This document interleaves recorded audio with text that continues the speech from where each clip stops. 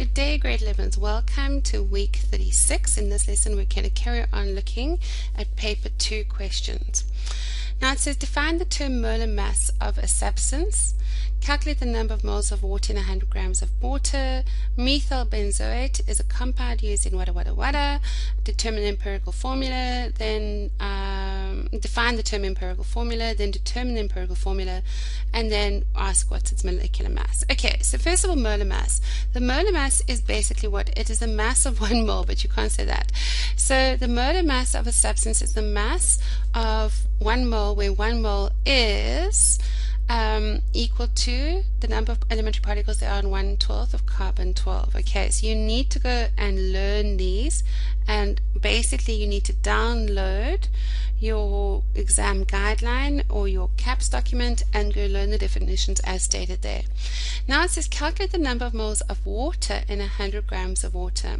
So we know the formula is number of moles is equal to mass over molar mass. If you're wondering where I'm getting that from, um, I actually do know it, but it is on your periodic table.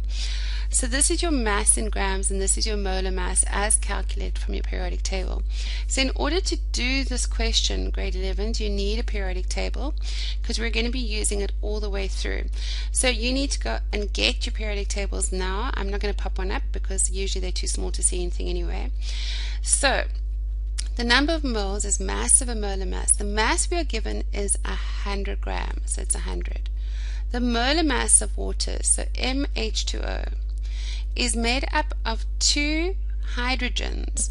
And the molar mass of hydrogen is 1 plus 1 oxygen and the molar mass of oxygen is 16 so that is just 18 so the molar mass of H2O in this case is 18 and now we just need a calculator. Right so we can say 100 divided by 18 equals 50 over 9, which is useless, which is 5.56. 5.56. So therefore that is 5 comma 56 moles or 5 comma 56 moles.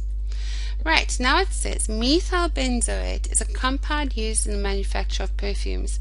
It is found that a sample, 5.3 to 5 gram sample of methyl benzoate contains carbon of which there is 3,758 grams, hydrogen, of which there is 0,316, and oxygen, of which there is 1,251. Okay, it says define the term empirical formula. Empirical formula is just the formula of the compounds in their perfect ratio. In other words, if we had water, the empirical formula for water would be H2O. But you could also get H4O2 or you could get H6O3. These are all water, except the fact is this is the empirical formula of water. Okay? So now it says determine the empirical formula of methyl benzoate. Okay, so the way we do this is we pretend that we've been given um, 100 grams. Okay, so first of all, we need to change. No, we don't. So what we need to do is realize that we've been given 3.758 grams of carbon, 0.316 grams of hydrogen, and 1.251 grams of oxygen. But we never ever work in grams. What we work in? We work in moles. So we're going to divide each of these by their molar mass, okay, to get the number of moles. So I'm going to divide this by 12. I'm going to divide this by 1 and I'm going to divide this by 16 and that's going to tell me how many moles I've been given. So therefore we've got the calculator out. So we go 3, oopsie, we go 3.758 divided by 12 equals 0.31. So that is 0.31 moles of carbon. This is going to be 0.316, and I just want to check something. Oh, 313. Okay, this is 313. And oxygen, we're going to divide by 16. So it is going to be 1 comma 251 divided by 16 which is 0 comma 078 0 comma 078 Now, whenever we do this, we're looking at a ratio, okay? But we never ever look at a ratio with these funny numbers. What do we always do? We always go 10 to 1 or something like that. So what do we need to do? We need to divide all of these by the smallest number so we can get a ratio with respect to 1. So we're going to divide this by 0,078 because that's the smallest number, which means we're going to divide this by 0,078 and we're going to divide this by 0,078. So let's do that now. This is obviously 1. Okay, so let's use this in our calculator. So we've got 0,316 divided by 0,078 and that is equal to 4,05. So it's 4,05. Let's do this one as well just to see how much different it is. So you've got 0,313 divided by 0,078 equals 4,01. 4,01. So I think those are close enough that we can round them. So therefore we're going to have C4 H4 O and that is our empirical formula. It's C4 H4O. In other words, it's the basis for the methyl benzoate is the fact that it's got this basic, basic ratio of carbons, hydrogens, and oxygens. Now it says if the molar mass of the benz, methyl benzoate is 136 grams per mole, what is the molecular formula? It says what is the molecular formula? So we need to work out what this empirical formula is first. So we've got 4 times carbon, which is 12, plus 4 times hydrogen, which is 1, plus oxygen, which is 16. 4 times 12 is 48, plus 4 plus 16, which is 48 plus 20, which is 68. So the molar mass of this is 68 grams per mole. But they've said that they've given us that the molar mass of this methyl benzoate, what it actually is, this is the mass of the empirical formula. The molar mass of methyl benzoate is 136.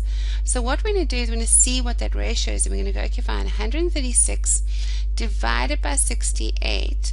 Well, 6 goes into 13 twice. It means that you have a 1, and that gives you, so it's going to be 2 times.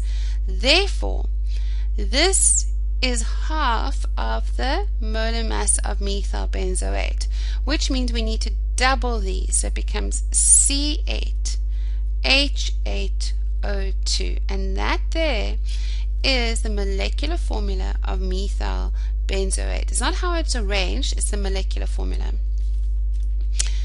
Now it says define the term limiting reactant. Okay, now again, like I've said before in my previous lessons, whenever they ask you to define something, they're basically telling you that that's what we're going to have to work with.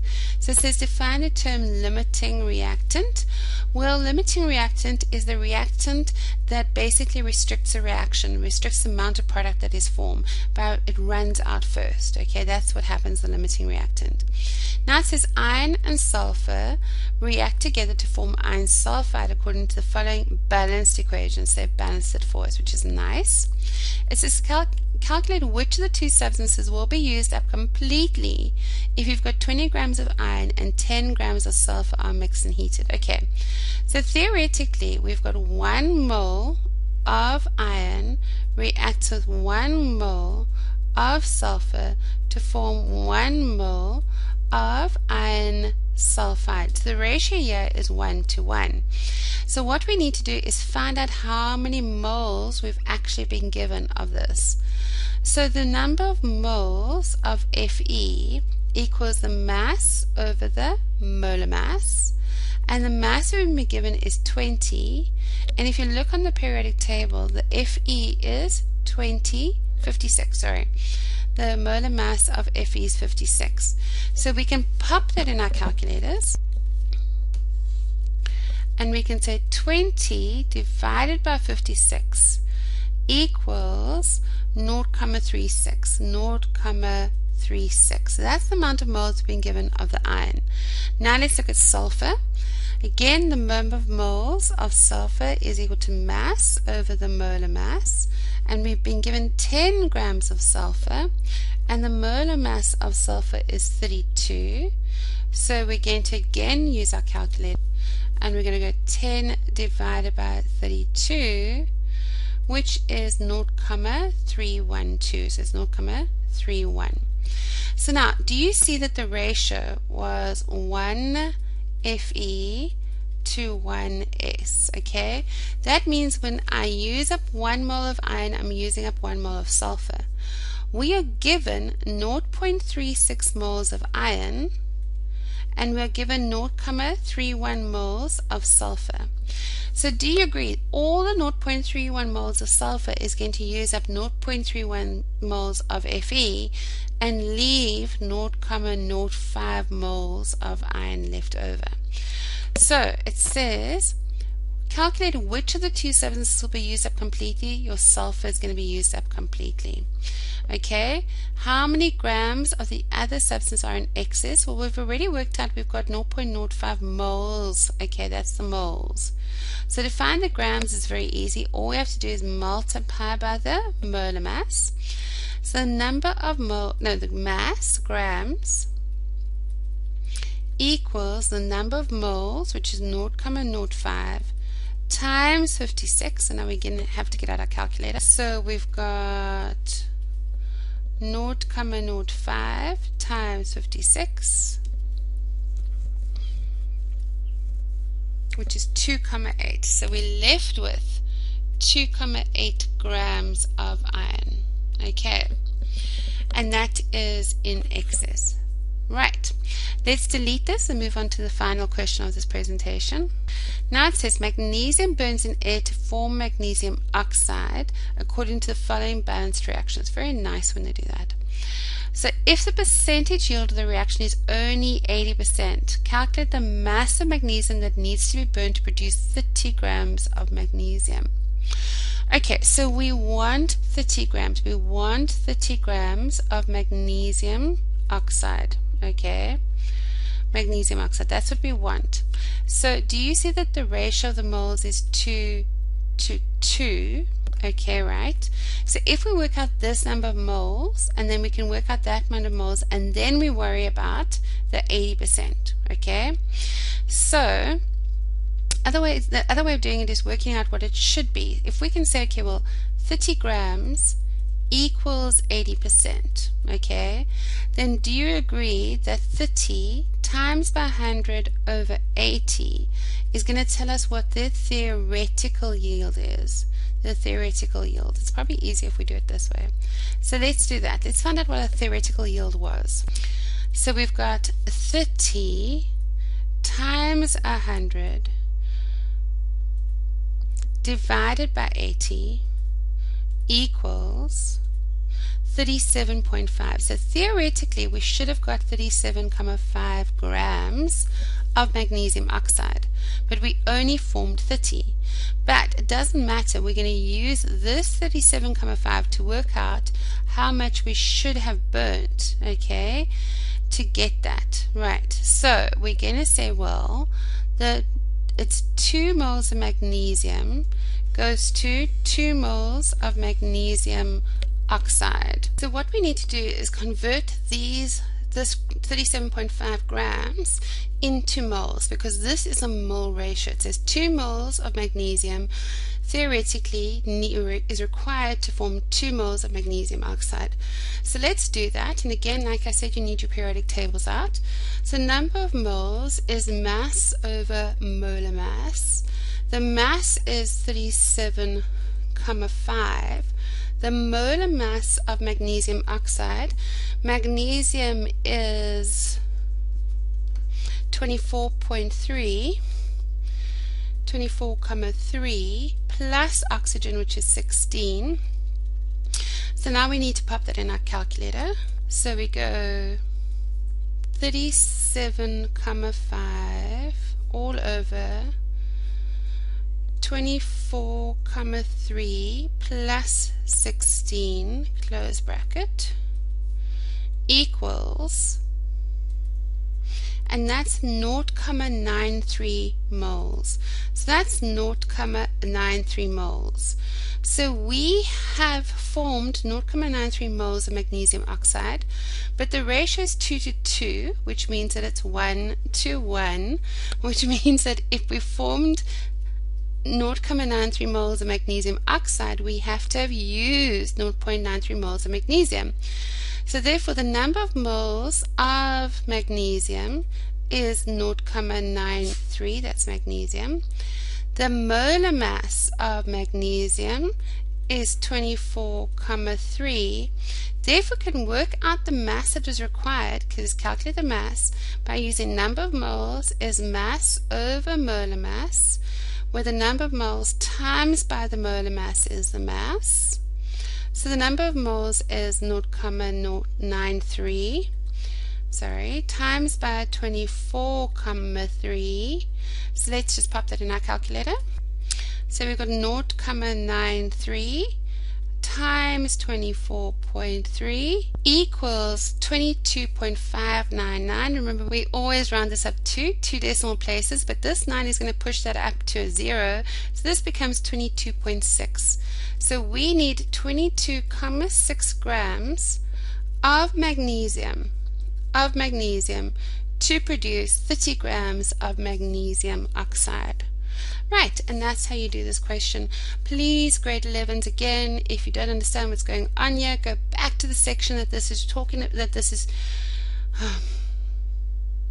Please, grade 11s, if you don't understand this, go back to the section that covers this work, go through it carefully, and then do the questions in the 2Enable system to help you.